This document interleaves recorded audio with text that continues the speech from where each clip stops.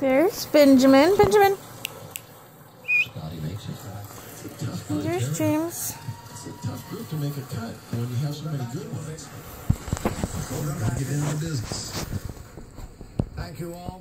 The Skye Terrier is first. And the Skye Terrier The Skye Got him all tired. is your winner. the smoothest thing. Hi, pretty The Scottish Terrier's second, the He's a Smooth Fox Terrier's boy. third, and the Amstaff, the American Staffordshire Terrier, is fourth. And we're now more than halfway there to Best in Show. The Skye Terrier is our winner.